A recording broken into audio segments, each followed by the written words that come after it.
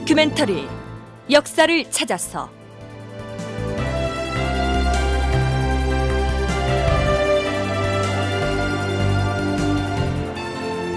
제 155편 박시왕통의 단절과 석시 세력의 부상. 극본 이상락 연출 이상여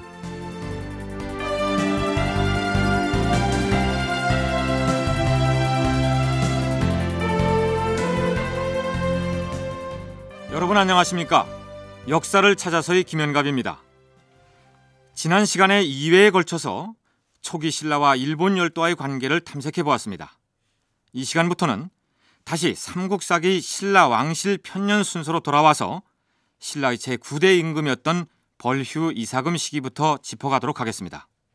벌휴 이사금은 발휘 이사금이라고도 한다. 왕의 성은 석시로서 탈해왕의 아들인 구추각간의 아들이다. 벌휴 이사금의 즉위 기록이 이렇습니다. 무엇보다 우리는 새로 임금 자리에 오른 왕의 성이 석시라는 사실을 주목할 필요가 있습니다. 되짚어 보자면 이렇습니다. 삼국사기에 나타난 사로국의 왕위는 제4대 임금이었던 석탈해를 제외하고는 모두가 박씨였습니다. 바꿔 말하면 시조인 혁거세에서부터 제8대 아달라 이사금에 이르기까지 7명이 박씨 왕이었고 탈해왕이 유일한 석씨 임금이었습니다. 그런데 석탈해가 죽은 지 정확히 104년 만에 다시 석시성을 가진 벌휴가 이사금 자리에 오르는 것입니다. 이것을 어떻게 봐야 할까요? 경주대 전덕재 교수 얘기를 들어보시죠. 석시 집단의 실질적인 시조는 이제 벌휴라고 보는 사람들이 있었습니다. 학자들이 탈에는 어떤 신화적인 인물이고 벌휴가 처음으로 석시로서 왕위에 즉위했는데 어떤 그 석시의 등장 배경을 설명하다 보니까 탈해라고 하는 인물을 새로 어떤 그 등장시켜서 신성시하면서 시조로서 가상의 인물로서 설정을 했을 것이다.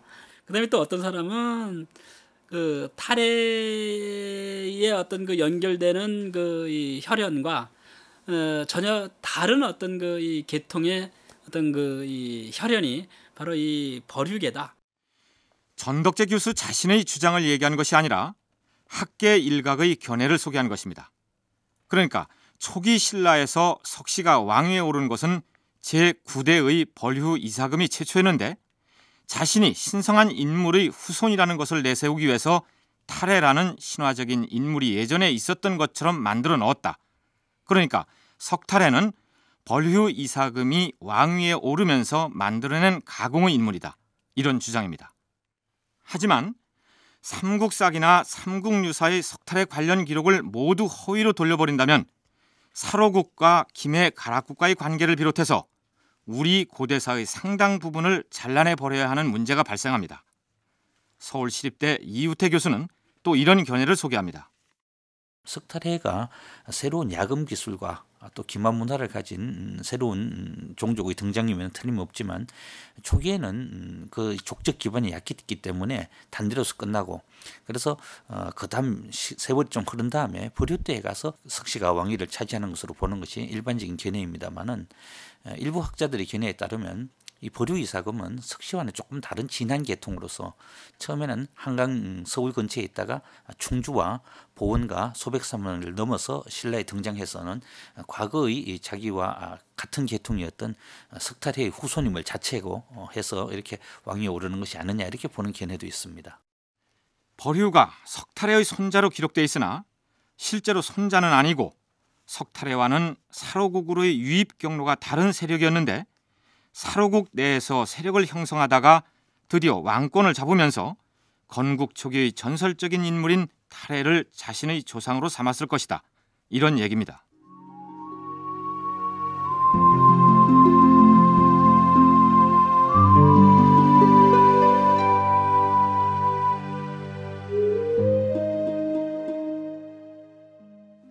벌휴 이사금 바로 이전의 왕은 아달라 이사금이었습니다. 그런데 삼국사기 아달라 이사금 때의 기록을 꼼꼼히 살펴보면 예사롭지 않은 부분이 발견됩니다. 아달라 이사금 21년 정월에 흙비가 내리고 2월에 한재가 들어 우물과 샘물이 모두 말랐다. 아달라 이사금 31년 3월에 왕이 세상을 떠났다. 이상스러운 점을 찾아내셨습니까? 삼국사기 이 기록을 내용이 아니라 연대로 따져보자면 아달라 이사금 21년에 흑비가 내리고 한재가 들었다는 기록이 보이고 10년 후인 31년에 왕이 세상을 떠난 것으로 되어 있습니다. 마지막 10년 동안의 기록이 공백으로 남아 있다가 끝에 가서 왕이 죽었다 이렇게 되어 있는 것이죠.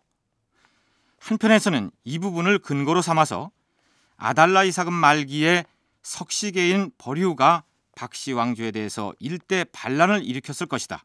이렇게 추정하기도 합니다. 대구 카톨릭대 강종훈 교수는 이렇게 설명합니다. 그 신라 초기 기년이라고 하는 것이 전체적으로 이제 실제보다 많이 끌어올라가 있었기 때문에 그런 과정에서 이제 뭐 10년 정도 공백이 있다는 거는 충분히 있을 수 있는 일이고 버류가 왕이 즉위하는 과정에서 이제 그 박씨 세력이 이제 몰락하거든요. 근데 박씨 세력이 몰락이라고 하는 것이 그 여러 가지 이제 중요한 배경이 있는데 그 중에서 이제 아주 결정적인 배경으로 그 추정할 수 있는 게 뭐냐면 그 삼국 유사에 보이는 그 연호랑 세원여설화인데 그 연호랑 세원여설화가 어 보면은 이제 주로 이제 영일만 쪽에 있는 어그 어촌에 살고 있는 부부가 일본에 건너가 가지고 거기서 이제 일본의 왕이 되었다 이제 이런 식의 전승이거든요. 석시계인 버류 이사금이 박시계로 이어져 오던 왕통을 차단하고 왕위에 오른 것은 당시 사로국 내부에 치열한 권력 암투가 있었다는 것을 반증하는 것이고 지난 시간에 우리가 살펴봤던 연우랑과 세오녀 설화 역시 바로 이때의 권력 투쟁과 관련이 있다는 얘기입니다. 조금은 독특한 주장인데요. 연호랑과 세오녀가 떠나버린 뒤 신라에서는 해와 달의 빛이 없어져 버렸다. 그러자 천문을 맡은 관리가 왕에게 말했다. 대왕 마마, 우리나라에 내려와 있던 해와 달의 전기가 지금은 일본으로 가버렸기 때문에 이런 궤변이 생겼나이다. 이 큰일이로구나. 1월에 전기가 바다 건너 가버렸으니 이를 되찾아와야 하는 것 아니겠느냐? 사실은 무얼 망설이느냐? 속히 배를 타고 건너가서 1월의 전기를 찾아오도록 하라. 연호랑과 세오녀가 일본 열도로 건너간 뒤에 사로국 내부에서 이런 일이 벌어진 것으로 돼 있는데 이것이 바로 버류 이사금이 왕위에 오르는 과정에서 발생했던 권력 투쟁을 상징하는 것이다. 이런 주장입니다. 연호랑과 세오냐에 대해서 1월에 전기를 띠고 있는 인물 이렇게 그 이야기를 하고 있거든요. 근데 그, 그 당시 사람들한테 예, 해의 상징으로 돼 있는 사람이 누구냐 그러면 신라 시조인 혁거세의 정통을 이어받고 있는 사람이 이제 1월의 전기를 가장 많이 갖고 있는 사람 이렇게 그 이야기가 되고 있었던 거죠. 근데 그 이 사람이 그러니까 다시 말해서 박씨 족단에 있어서 가장 유력한 인물, 왕위 계승권에 가장 가까이 다가가 있고 당연히 예, 왕위를 계승할 거라고 생각했던 인물인데 이 인물이 어, 신라의 왕을 계승하지 못하고 일본으로 가게 됐다- 됐다는 그게 이제 설화의 형태로서 연호랑 세오녀로 이제 나타나게 된 거죠. 상식적으로 생각할 때 대규모 선단을 이끌고 일본 열도로 건너가서 일본 어느 지역의 왕으로 받들어 모셔졌다는 신화의 주인공이 되자면 적어도 사로구의 왕족이나 귀족 출신이어야 한다는 얘기입니다. 더군다나 연호랑과 세오녀가 바다를 건너 가버리자 신라의 왕이 1월의 정기가 사라져 버렸다고 한탄하는 대목이 보이는데 1월의 정기라는 것은 혁것에 거서간 이후로 이어져 온 박씨 세력의 왕통을 의미한다. 이런 분석이죠. 어쨌든 신라의 역사에서 아달라 이사금을 마지막으로 박씨 세력은 더 이상 왕위에 오르지 못하고 그 왕통이 끊어져 버립니다. 석씨와 김씨 족단이 연합해서 박씨 왕통을 단절시켜 버린 것이죠. 그런 점은 삼국사기 기록을 통해서도 짐작할 수 있습니다. 아달라 왕이 아들이 없이 세상을 떠나자 나라 사람들이 버류를 받들어 즉위시켰다. 박씨 세력인 아달라 이사금에게 친아들이 없었다 해도 왕통을 이을 박씨 족단의 인물은 얼마든지 있었을 텐데 국인 즉 나라 사람들이 석시인 벼류를 왕으로 옹립했다는 것은 왕위 계승을 둘러싸고 치열한 권력 게임이 있었다는 사실을 말해주고 있습니다. 내래 부인의 역할이 상당히 컸을 거라 보고 있어요. 내래 부인이 이제 자기 아들인 나해가 왕이 오르는 것을 이제 바랐을 텐데 그렇게 하기 위해서는 누군가 이제 힘을 얻어야 되겠죠. 그러니까 과거에 자기 시아버지에 해당하는 버류가 이제 후원자 역할을 했을 거고 그런 과정에서 이제 아달라가 어, 물러나게 되면서 어, 버류가 일단 나이가 이제 굉장히 많았던 버류가 어, 뭐- 먼저 왕이 되고 버류가 이제 죽게 되면서 그 왕통이 예, 바로 이제 네레분의 소생인 버류의 둘째 아들의 아들이 되는 이제 그 나이한테로 어, 왕위가 넘어가게끔 이렇게 이제 그 구성이 된 거죠. 강종훈 교수가 얘기하는 내래 부인은 옛 아달라 왕의 부인이었던 박씨 내래 부인을 일컫습니다. 이 여인은 훗날 벌휴 이사금이 죽자 왕위 다툼 과정에서 지대한 영향력을 행사하는데 박석김으로 상징되는 사루구의 권력 다툼에서 그녀가 어떤 역할을 하는지는 벌휴 이사금이 죽고 난 다음 제10대 임금의 즉위 과정을 소개할 때 자세히 살펴보도록 하겠습니다.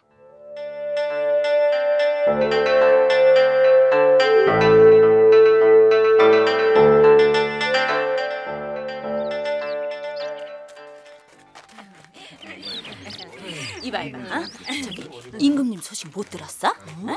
돌아가신 임금님 말인가?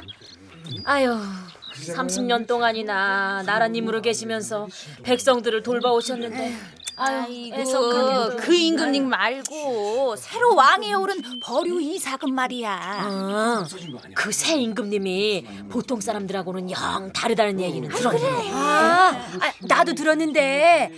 글쎄 천기를 미리 점칠 수 있는 신통한 능력을 가지고 있다지 뭐야? 천기를 미리 점치다니? 저, 그러니까 언제 비가 오겠다 언제 가뭄이 들겠다 언제 홍수가 지겠다 뭐 이런 걸 그냥 손바닥 들여다보듯이 훤히 꿰할 줄 아시는 거잖아 아이고, 아이고, 그뿐만 아니라 사람도 한번 딱 보면 다른 사람인지 그른 사람인지 금방 알아보신다더라고. 그러면 말이야, 자네는 새 임금님이 우리 마을에 순행 오시더라도 그 앞에는 얼씬도 말아야겠네. 응? 그 고약한 심보를 금방 알아채실 테니까. 아이고 이놈이 옆에 내가 그냥 아이고 버류 이사금은 천기를 점쳐서 수재와 한재가 닥칠 것을 미리 알고 풍년과 흉년이 있을 것을 알았으며 또 사람의 바르고 그른 것을 잘 아는 까닭에 나라 사람들이 그를 일컬어 성인이라고 말하였다. 삼국사기에서 별후 이사금이 이처럼 성인으로 추앙받는 범상치 않은 인물로 묘사되어 있는 점을 근거로 들어서 벌휴가 석시족단의 실질적인 시조였기 때문에 그처럼 신이한 능력을 지닌 것으로 기록했을 것이다. 이렇게 주장하기도 합니다. 그러나 그보다는 당시의 신라, 즉 사로국 백성들이 왕을 어떻게 인식하고 있었고 또 어떤 왕을 바라고 있었는지를 설명해주는 대목이라고 이해하는 편이 무난할 것 같습니다. 시대에 따라서 백성들이 바라는 군주상도 차이가 있겠죠. 이우태, 강종은 두 교수의 얘기를 차례로 들어볼까요? 고대에 있어서 왕의 덕목은 두 가지가 있었다고 보입니다. 하나는 이런 농경과 관련된 수재나 이런 것들을 미리 예견해서 피할 수 있게 해주는 예지의 능력이라든지 농사를 잘 되게 해주는 어, 비가 안 오면 어, 빌어서 기후제를 지내서 비가 내리게 하는 그러한 능력 같은 것들이 하나라면요. 또 하나는 인근의 소국들과의 전투에서 어, 아주 탁월한 능력을 발휘하는 군사 지도자의 능력이 필요한 것입니다. 석트레의 경우에는 군사 지도자의 성격이 강했습니다만은 또 불효 이사감에 와서는 이러한 농경과 관련된 어, 일종의 뭐 무당이랄까요 제사장의 기능이 예, 강조되기도 하는 것은 결국 이 시기의 왕에게는 이 두 가지 능력이 아울러 필요했던 것이 아닌가 생각되는 것입니다. 그래서 원래 이제 석시 이 족단 내에서도 어, 상당히 이제 파워를 형성하고 있는 사람이었다 이렇게 이제 얘기할 수 있고요.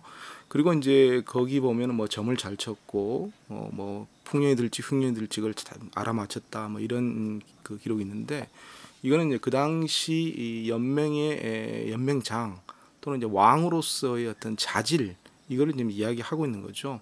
제사장적인 성격을 아직 신라 왕들이 띠고 있는데 그런 측면에서 봤을 때 버리는 나이가 들었지만 현명해가지고 이런 것들을 모두 다 알아낼 수 있는 그런 인물이다. 그러니까 왕이 되기에 부족함이 없었다.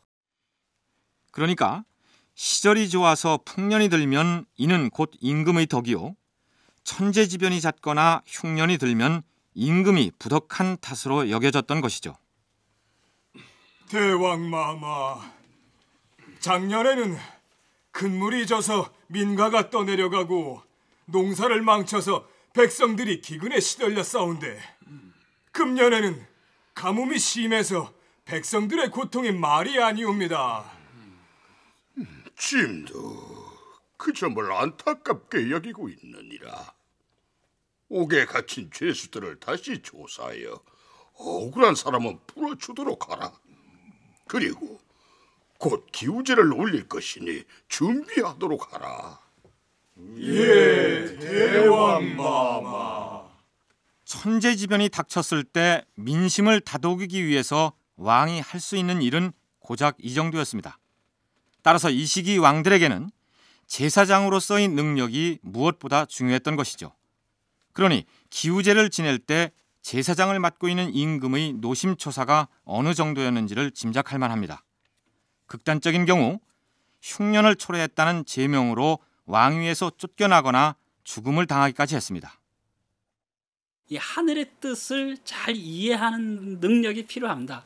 예를 들어서 어, 초기 그 부여에서 흉년이 들거나 또 오국이 잘 연결지 않으면은 왕을 죽이거나 교체했는데 김일이 이 당시에 왕은 하늘에 하늘에 제사를 지내서 하늘을 섬기는 그런 중요한 역할을 했습니다. 근데 이 사람이 제사를 잘못 드리거나 또는 하늘의 뜻을 거역했기 때문에 하느님이 노예 갖고 어떤 비를 내리지 않거나 또는 뭐 이 비를 많이 내려서 이 어떤 그 농사가 흉년이 되게 만들었다는 거죠. 그랬더니 하늘의 뜻을 잘 받들지 못하는 이 왕은 이제 교체되거나 이제 죽임을 당했던 것입니다. 전덕재 교수의 얘기가 사실인지 삼국지 위서동의 전의 부여에 관한 기록을 들춰보기로 할까요? 옛 부여의 풍속에는 가뭄이나 장마가 계속되어 오국이 연글지 않으면 그 허물을 왕에게 돌려서 마땅히 왕을 바꿔야 한다고 하거나 혹은 왕을 죽여야 한다고 하였다. 그런데 새로 왕위에 오른 버류 이사금이 백성들 사이에서 천기를 미리 점칠 줄 아는 인물로 추앙받았다면 그보다 더한 찬사가 없었겠죠.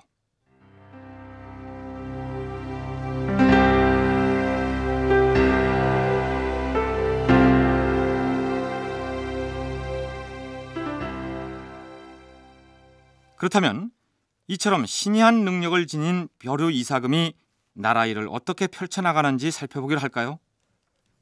대왕 마마, 이제 시조묘의 제사도 지냈으니 대왕 마마를 도와서 국사를 담당할 관리를 임명하셔야 할 것이옵니다.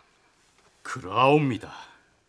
언제 외적이 쳐들어올지 모르니 병마를 담당할 관리부터 새로 정해야 할 것이옵니다. 이제 우리 석씨가 왕권을 잡았으니 마땅히 군령권을 행사할 관리도 우리 석씨 가문의 장수들 중에서 물색하심이 아니 될 말이다. 너희들은 하나만 알고 둘은 모르는구나. 짐이 죽은 이후에도 계속 우리 석씨 왕통을 이어나가자면은 박씨와 김씨의 도움을 받지 않으면 안 될 것이야. 그러시면 누구에게 군령권을 맡기실 생각이시옵니까? 짐의 생각으로는 김씨 족단 출신의 파진찬 구도를 중용하여 곁에 둘 것이다. 파진천 구도에게 군령권을 모두 맡기실 의행이시옵니까? 아니다. 군령권을 좌우 군주로 나누어서 파진찬 구도에게 좌군주를 그리고 일길 찬 구수에게 우군주를 맡길 것이다. 버리 입장에서는 자기 그러니까 자기가 왕이 되고 자기 이제 후사들이 이제 계속 어, 이 왕위를 이어가야 될 텐데 그렇게 하기 위해서는 석시족단의 힘만으로서는 부족한 거죠. 이 시기는 세성 씨가 정립해 있는 시기였기 때문에 어느 한 집단만이 이렇게 특출하게 튀어나가고 나머지 두 족단이 억압받는 이런 상황이 아니고요. 서로 간에 이제 이해를 맞춰가면서 정치를 이끌어가는 상황이었는데 석씨 집단의 우두머리였던 바- 버류가 어, 자기 후손으로서 이제 계속 신라의 왕을 배출하기 위해서는 음, 아무래도 이제 박씨 집단에 소속되어 있는 인물, 어, 이 내래부인과 같은 그런 인물의 에, 지원을 에, 받을 필요도 있는 것이고 또 한편으로 김씨 집단의 에, 도움을 받아야 되는데 그래서 김씨 족단의 협력을 끌어내기 위해서 중요한 인물이 바로 구도였다. 강종원 교수의 분석이 그렇습니다. 자, 이제 새로 벼슬을 받은 장수들이 능력을 발휘할 때가 왔습니다. 지미 파진찬 구도와 일길찬 구수해 두 사람을 왜 불러내지 않느냐? 신이 불민해서 그 연유를 잘 모르겠사옵니다. 소장도 잘 모르겠사옵니다. 일찍이 소문국은 우리 사로국에 속하여 조공을 바치고 충성을 다해왔는데 이번에 변심하여 배반을 했다는 얘기는 들었느냐? 예, 알고 있사옵니다. 너희들 좌우 군주 두 사람이 군사를 이끌고 가서 소문국을 정벌하고 돌아오도록 하라. 예, 대왕마마. 반드시 항복을 받아와야 할 것이다. 명심하겠사옵니다. 출정하라.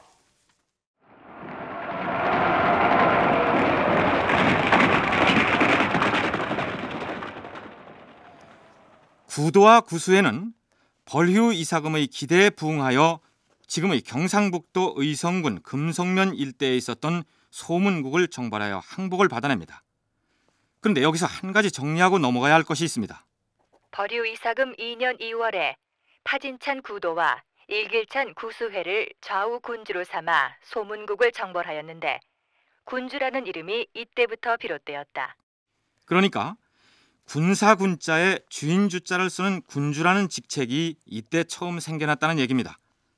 그런데 삼국사기 편찬자들이 깜빡 잊은 것이 있습니다. 이때로부터 320년 뒤인 지증왕 6년조의 기록을 보면 이런 대목이 나옵니다. 지증왕 6년 2월에 왕은 친히 주, 군, 현의 제도를 정하여 실직주를 설치하고 이사부를 그 군주로 삼았는데 군주라는 명칭이 이로써 시작되었다. 그러니까 같은 삼국사기 신라본기인데 버류 이사금조에서는 서기 185년에 처음으로 군주라는 직함을 만들었다고 기록하고 지증왕조에서는 서기 505년에 군주라는 이름이 처음 생겼다고 적고 있습니다. 그러나 초기 사로국 단계였던 버류 이사금 시기에 군주라는 이름의 관직이 있었을까 의심이 가는 대목입니다. 삼국사기의 뒤편에 가보면 지정왕 6년조 기록에도 이사부를 군주로 삼, 삼았는 기록이 나오는데 이때에도 군주의 이름은 여기에서 시작된다라고 기록이 나와서 두 개 똑같은 기록이 혼동을 일으키고 있습니다. 그래서 이 앞의 군주, 즉 불윤이사금대의 군주와 지정왕대의 군주는 성격이 다른 것으로 보는 그런 견해가 있기도 한 것입니다. 하지만 어쨌든 불윤이사금대에는 본격적인 전투를 위해서 군주라는 군사 전문가를 왕 밑에 두었다는 것은 확실한 것이 아닌가 생각됩니다. 이우태 교수는 지증왕 시기의 군주와는 그 성격이 달랐을지라도 벌휴왕 때에도 군주라는 관직은 있었을 것이다. 이렇게 얘기합니다. 강종훈 교수의 견해를 들어볼까요? 그 버류 이사금 시기에 이 군주라고 하는 것이 정말 그 당시 있었던 직명이 맞느냐 논란이 있을 수가 있죠. 근데 이제 그 실제 군주라는 명칭이 이 시기에 사용되지는 않았다 하더라도 신라의 중앙군의 우두머리로서 어, 군사 지휘권을 행사하고 있는 사람을 후대적 표현으로 이제 군주라고 이야기를 붙일 수 있는 거라서 이것은 이제 군주라는 명칭이 있었느냐 없었냐를 떠나서 실제 이 당시 신라 군의 지휘관으로서 어떤 사람들이 있었을 텐데 그 사람들을 후대적 관념으로 군주라 표현한 것이다.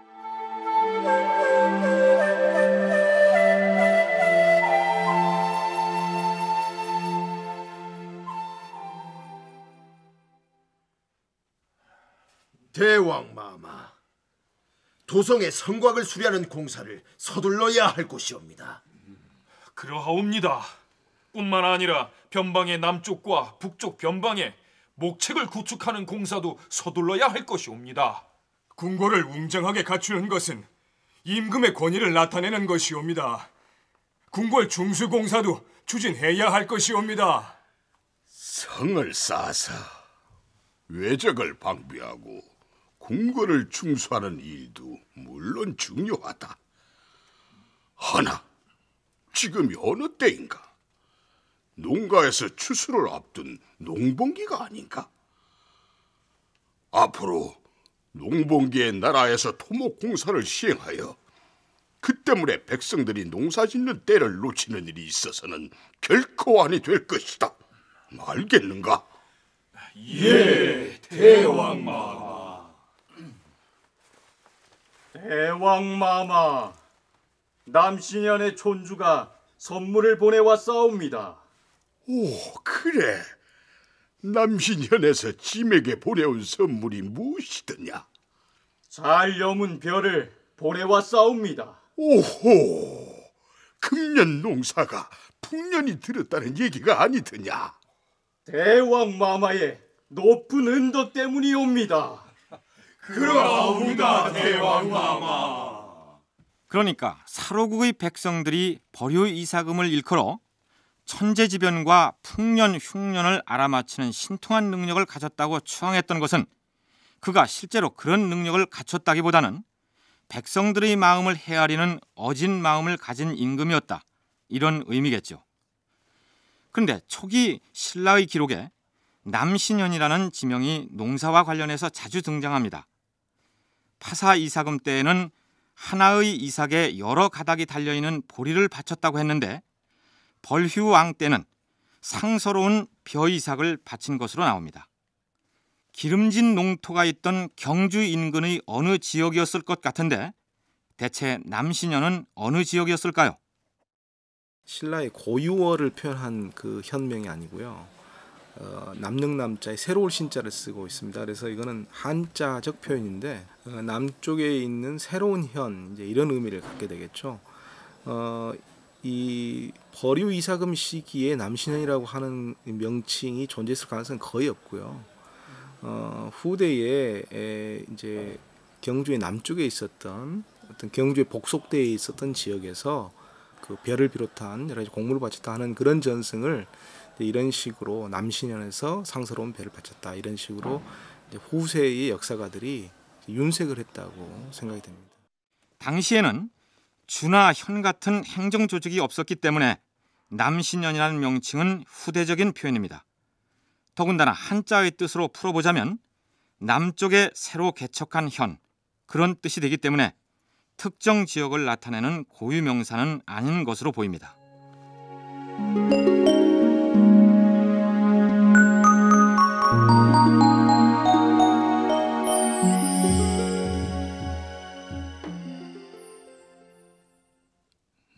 산성으로 출정할 준비는 어찌 되었느냐? 준비를 모두 마쳤사옵니다, 대왕마마. 소장이 기필코 백제군을 무찔러 모산성을 되찾고 돌아오겠사옵니다. 좋다. 출정하라. 예, 대왕마마. 자, 가자!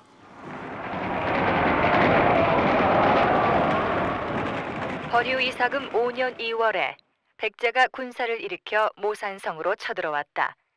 왕은 파진찬 구도에게 명하여 군사를 거느리고 나아가 이를 막게 하였다. 모산선은 지금의 충청북도 진천 지역으로 보는 것이 통설입니다. 우리가 신라의 초기 기록을 읽을 때 자주 부닥치는 문제입니다만 당시 경주에 있었던 사로국이 멀리 충북 진천까지 출동해서 백제와 전쟁을 벌였겠느냐 이런 의심을 하지 않을 수 없습니다. 더군다나 백제가 신라의 모산성을 침략했다는 얘기는 바꿔 말하면 모산성이 그 이전에는 신라 영토였다는 얘기가 아니겠습니까?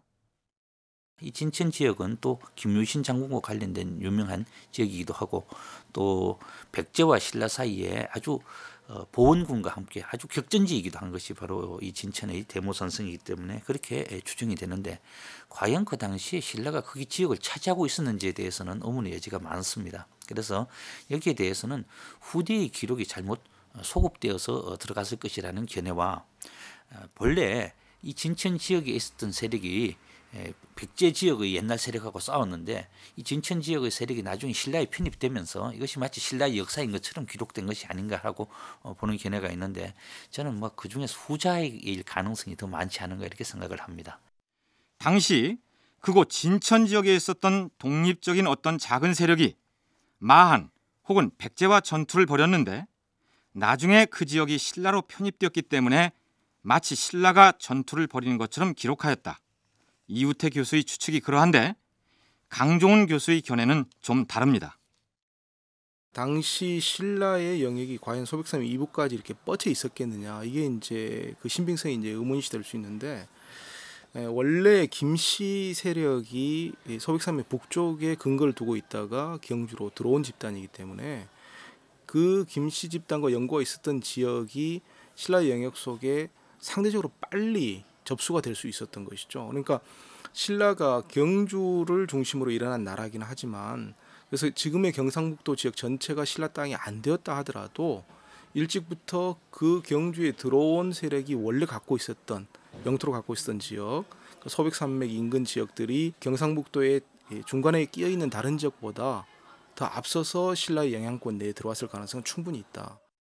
쉽게 얘기하자면 경주에 더 가까운 경상북도의 지역들도 다 복속시키지 못했던 사로국이 어떻게 해서 멀리 충청도 진천의 모산성을 차지할 수 있겠느냐 이런 의문을 가지기 쉬운데 나중에 사로국에 편입된 김씨 세력이 소백산맥 인근에 있다가 경주로 왔기 때문에 그런 연고로 인해서 그 지역은 사로국의 영향권 아래 있었을 것이다 이런 주장이죠. 그리고 당시의 사로국이 진천의 모산성을 차지하고 있었다고 해서 경주에서 진천에 이르는 모든 땅을 다 차지하고 있었다는 의미가 아니라 중간중간 건너뛰어서 주요 거점별로 점령한 것으로 이해해야 한다. 이런 얘기입니다.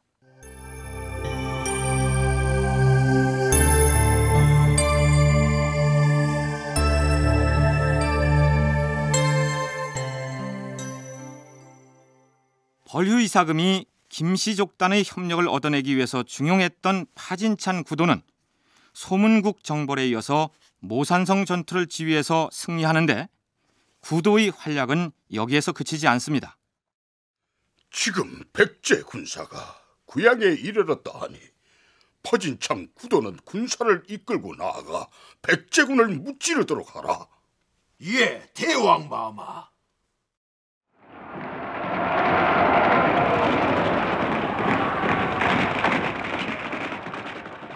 벌휴 이사금 6년 7월 구도는 백제 군사와 구양에서 싸워 승리하고 500여 명을 죽이거나 사로잡았다.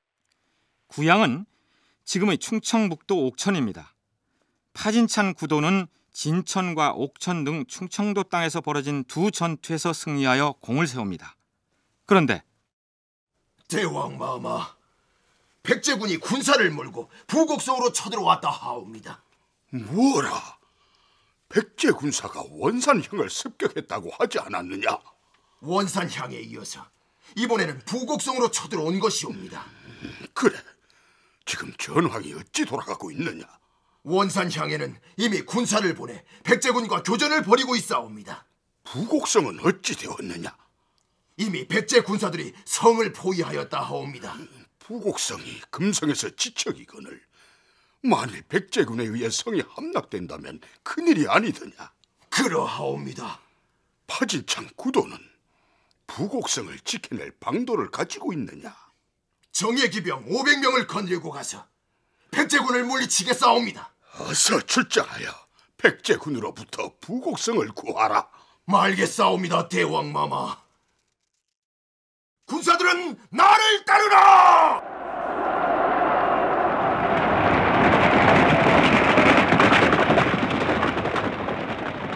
여기서 원산향은 지금의 경상북도 예천군 용국면을 그리고 부곡성은 경상북도 군위군의 북예면 지역을 일컫는 것으로 추정됩니다. 경주와 별로 멀지 않은 곳이어서 사록으로서는 위기를 맞이한 셈이죠. 대체로 이제 경상도의 중북부 일대에 해당한 지역이다. 이렇게 예, 이야기를 할 수가 있습니다. 근데 백제가 이제 이적까지 공격이 들어왔다는 것은 어, 소백산맥의 관문 지역인 계림령이라든지 이런 것을 이제 돌파했다는 이야기가 되는 것이죠. 그래서 신라 입장에서는 상당히 큰 위기에 그 해당할 수 있는 것이고 어, 이 원산향이라든지 부곡성을 공격한 백제를 이제 막기 위해서 소문국 정벌의 주역이었던 구도라는 인물이 이제 다시 파견되었다가 오히려 이제 실패를 함으로써 어, 영향력을 이제 그 상실하게 되는 이런 음, 일이 이제 벌어지게 되는 것이죠.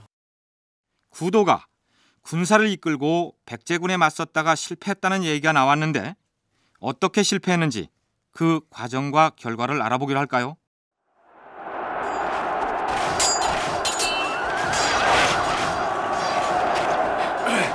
장군! 백제군이 싸움을 포기하고 물러나고 있습니다! 그러면 그렇지. 저들이 우리의 정예 기병을 당해낼 재간이 있겠느냐? 끝까지 추격하여 무찌르도록 하라. 예, 장군! 구도가 날랜 기병 500명을 거느리고 나가 부곡성을 포위하고 있던 백제 군사를 공격하니 백제 군사가 거짓으로 도망하였다. 구도는 그들의 계책을 모르고 추격을 거듭하여 와산에 이르렀다.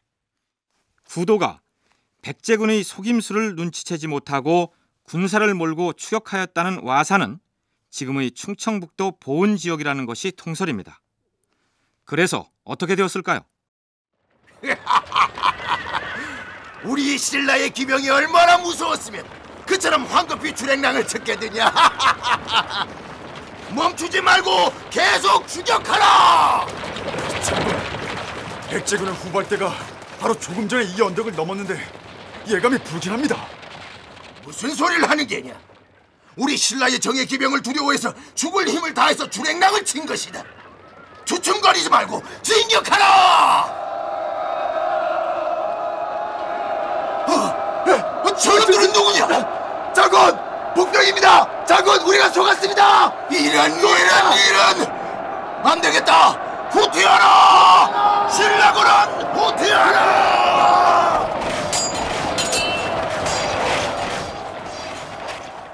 결국 구도는 백제군에게 크게 패하고 맙니다. 어찌하여 500이나 되는 정예 기병을 이끌고 나가서 그토록 참패를 당할 수가 있단 말이냐? 파진찬 구도는 대답하라. 백제군의 계책을 미처 간파하지 못한 소장의 잘못이 크옵니다, 대왕마마. 이번 전투의 실책에 대해서 그 책임을 지겠사옵니다. 그래, 실책을 범하여 막대한 손실을 입힌 책임을 어떻게 지겠느냐? 목숨을 내놓으시라면 그리하겠사옵니다, 대왕마마. 모든 전쟁에 승리할 수는 없는 법. 그러나 구도는 이번엔 너무 막중한 실책을 범했으므로 그 책임을 묻지 않을 수가 없다. 구도는 들으라. 예, 대왕 마마. 파진찬 구도의 벼슬을 강등할 것이다. 좌군주의 직을 삭탈하고 구도를 부곡성의 성주로 발령할 것이니라. 예, 어명을 받들겠사옵니다. 그리고 좌군주에는 설지를 임명할 것이니라. 애당초 버류 이사금은 김씨 족단의 우두머리 격이었던 구도를 막강한 군권을 행사할 수 있는 좌군주에 임명함으로써 석 씨와 김 씨 양 족단의 협력 관계를 유지하고자 했던 것이죠. 이 양 족단의 연합을 통해서 이제 석씨 왕실이 에, 상당히 이제 안정적으로 어, 갈수 있었다 이제 이런 이야기를 할 수가 있는 거죠. 그런데 구도가 계속해서 활약해가지고 자기 영향력을 계속 이렇게 펼치질 못하고 백제와의 전쟁 과정에서 패하는 바람에 좌천되게 됩니다. 그러니까 어, 애초에 버류의 그 협력 파트너 격으로 있었던 구도가 일시적으로 이제 힘을 잃게 되는 상황이 생기거든요. 그래서 이제 김씨 집단이 석씨 집단하고의 어떤 그 협력 관계 이런 것이 이제 계속 이 그 요동치게 되는 이런 일이 벌어지게 되는 거죠.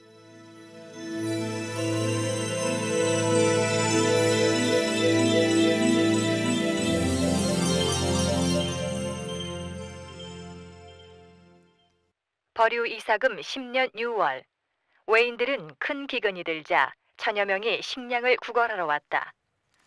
기근이 들어서 양식 동량을 왔다는 이 외인들의 정체는 무엇일까요? 서울시립대 이우태 교수의 얘기입니다. 신라 분기에는 외와 관련된 기록들이 많이 보이는데 이 외의 성격에 대해서는 요즘 다양한 견해가 제기되고 있습니다. 어, 이 외를 일본에 있는 외가 아니라 한반도에 있던 외로 봐야 된다는 견해도 있는데요.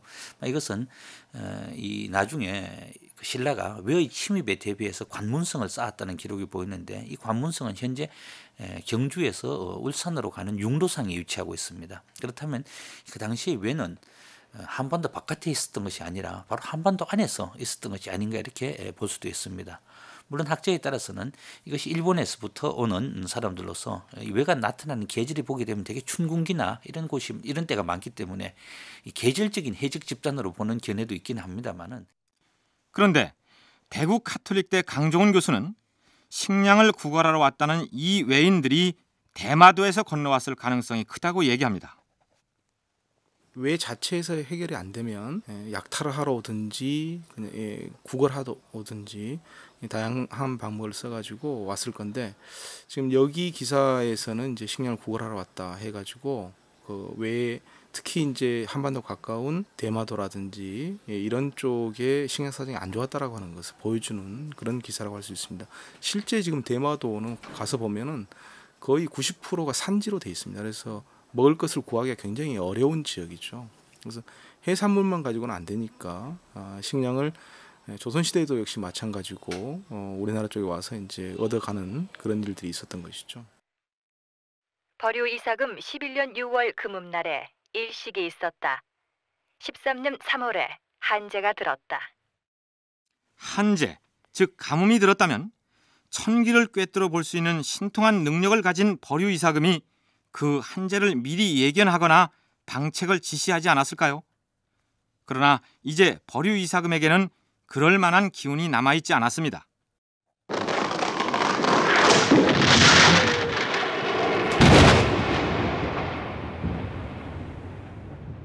대궐 남쪽 큰 나무에 벼락이 치고 금성 동문에도 벼락이 쳤다.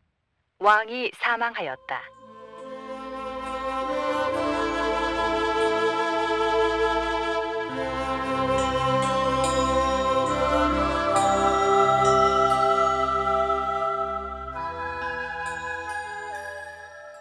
이제 신라의 제10대 임금을 소개할 차례입니다. 그런데 이 임금의 이름을 뭐라고 불러야 하느냐? 이 문제부터 정리하고 넘어가야 할 것 같습니다. 삼국사기 등의 사서에 보면 이 임금의 이름을 어찌 내자에다 해결하다 할 때 쓰는 풀 해자를 쓰고 있습니다. 그렇다면 당연히 내해왕 혹은 내해이사금이라고 하면 간단하겠죠. 그런데 어찌 내자를 자전에서 찾아보면 그 훈음이 어찌 나자라고도 풀이되어 있습니다. 따라서 나해왕 혹은 나해 이사금으로도 읽을 수 있다는 얘기죠. 그런데 신라의 제17대 임금의 이름에도 역시 똑같은 글자가 들어 있어서 내무랑도 되고 나무랑도 됩니다. 가능하면 한 가지로 통일해서 불렀으면 좋겠는데 학자들의 의견은 어떨까요? 강종훈, 이우태 두 교수의 얘기를 차례로 들어보시겠습니다. 그 내무랑 같은 경우는 삼국 유사에 보면 남일왕이라고 나옵니다. 그래서 현재 발음을 놓고 봤을 때 나에 가까웠다 이렇게 이제 생각할 수도 있어요. 그래서 에, 내무랑이라고 하지 않고 내무랑이라 아, 나무랑이라고 그렇게 이제 불러야 된다라고 하는 쪽도 좀 많이 있거든요. 그렇다 그러면 이제 이 내해 이사금이라고 써져 있는 이 경우도 어, 나해 라고 부르는 것이 옳다 이렇게 이야기를 할 수는 있는데 정말 그 당시에 내, 나 이게 어떻게 음가가 어, 정해져 있었을지 모르기 때문에 어, 이 삼국 사기에 보이는 모든 한자를 다 신라 시대의 음을 되살려서 읽을 수는 없습니다. 그렇기 때문에 이것은 뭐 내해라고 읽는 것이 틀렸다라고 그렇게 볼 수도 없는 것이죠. 예를 들어서 나해의 해 같은 것도 신라 시기에 국어학자들의 견해에 의하면 신라 시대에는 히읗음이 없었답니다. 그러니까 히읗은 모두 기억으로 읽혀서 어, 뭐 해부루는 개부루 이렇게 읽었다고 그러니까 원칙적으로 보면 나해는 나게 이렇게 읽었을 가능성이 크겠죠. 그렇지만 그 당시 음가를 다 제대로 알 수는 없기 때문에 뭐 내해라고 이런 것이 잘못됐다고는 할 수 없는데 습관상 우리는 어, 뇌물이나 내해 이사금은 나물 나해 이사금 이렇게 과거에 읽어왔습니다. 그러니까 신라 사람들은 자신들이 사용하던 신라 고유어를 기록할 문자가 따로 없었기 때문에 한자의 음을 빌려서 기록을 했는데 당시 신라 사람들이 그 글자를 나라는 소리를 적기 위해서 가져왔는지 아니면 내라는 음을 표기하기 위해서 끌어왔는지 지금 우리로서는 알 수가 없다는 것이 문제입니다. 우리가 만나본 신라사 전공 교수들 중에는 이 글자를 내보다는 나로 발음해서 나해이사금, 나무랑이라고 부르는 경우가 더 많았습니다. 그런데 초, 중고등학교 교과서에는 아주 오래전부터 나무랑이 아닌 내무랑으로 표기하고 있고 지금도 그렇게 올라 있습니다. 따라서 저희 역사를 찾아서에서는 두 발음을 모두 사용하되 프로그램의 해설 부분에서는 내해 이사금, 내무랑으로 통일해서 칭하도록 하겠습니다.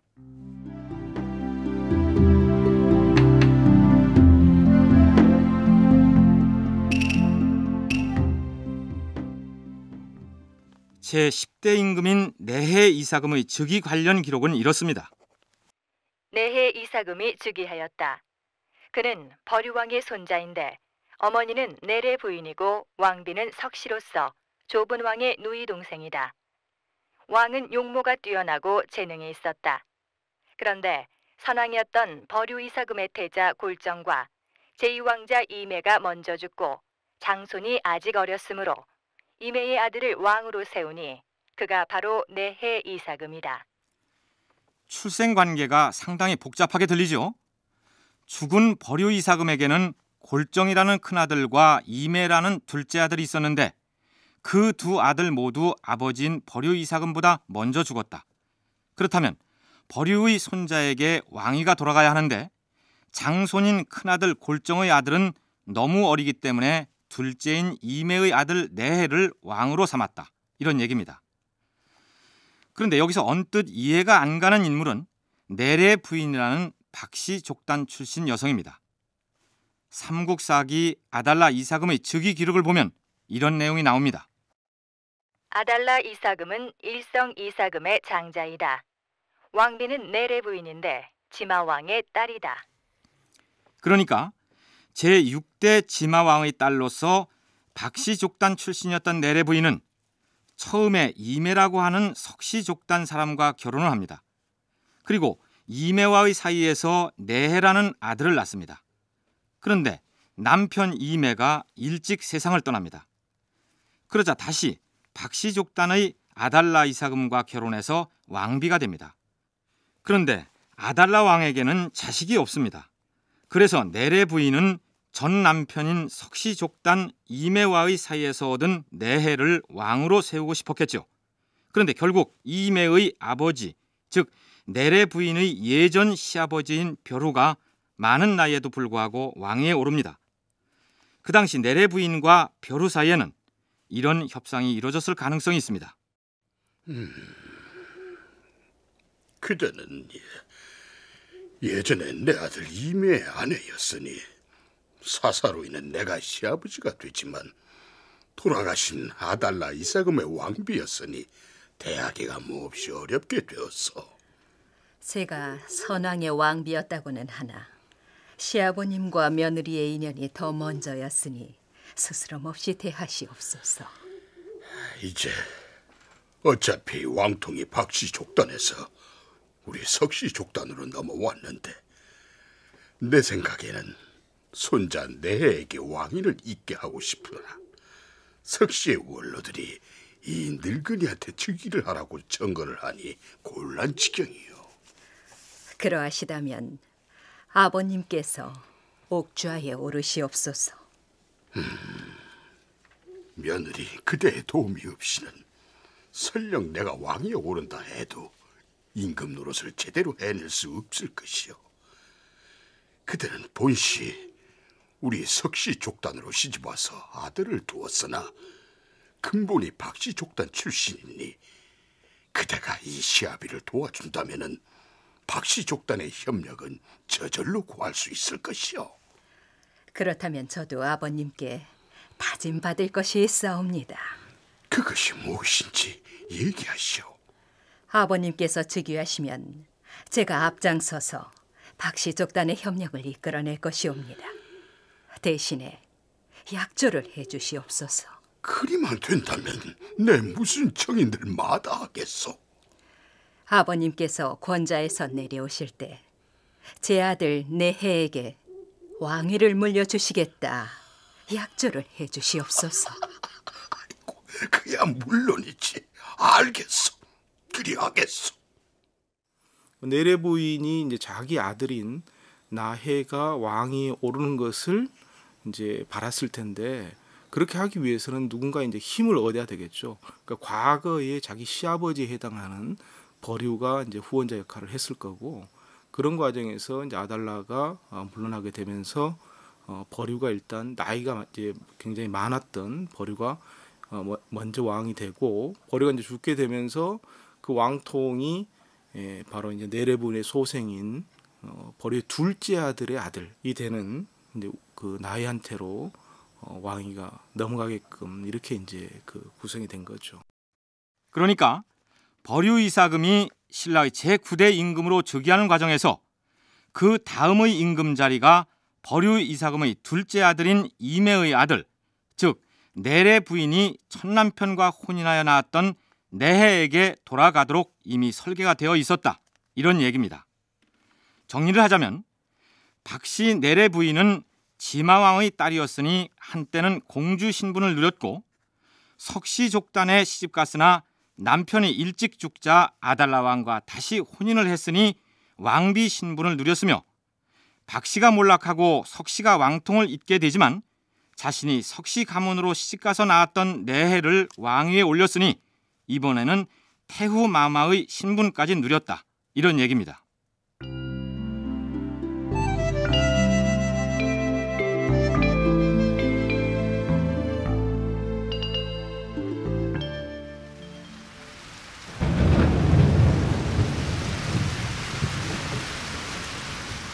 그해 정월부터 4월에 이르기까지 비가 오지 않았는데 왕이 즉위하는 날에 이르러 큰 비가 내리므로 백성들은 크게 기뻐하면서 할애하였다. 이렇듯 내해 이사금은 즉위하자마자 행운이 따랐던 것으로 기록되어 있습니다. 그런데 즉위 3년째 되던 해의 기록을 보면 이채로운 내용이 수록되어 있습니다. 내해 이사금 3년 4월에 시조묘 앞에 쓰러져 있던 버드나무가 저절로 일어났다. 쓰러져 있던 버드나무가 저절로 일어났다니 무슨 뜻일까요? 그런가 하면 제위 8년의 기록에는 이런 내용도 보입니다. 겨울 10월에 복숭아꽃, 오약꽃이 피었다. 이런 내용의 기록은 비단 신라 본기뿐만 아니라 고구려 본기나 백제 본기에도 간헐적으로 나타납니다. 앞뒤 설명이 없이 느닷없이 쓰러졌던 버드나무가 저절로 일어났고 겨울철에 복숭아꽃, 오약꽃이 피었다니 어찌된 일일까요? 다큐멘터리 역사를 찾아서 다음 주 이 시간에 계속하겠습니다.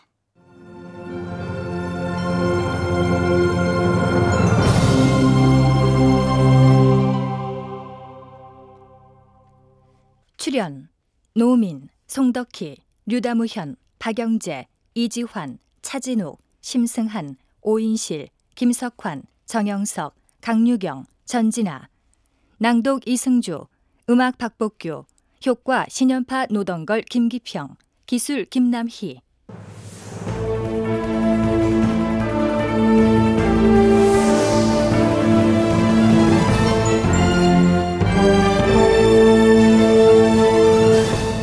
다큐멘터리 역사를 찾아서 제 155편 박시왕통의 단절과 석시 세력의 부상 이상락 극본 김현갑 진행 이상여 연출로 보내드렸습니다.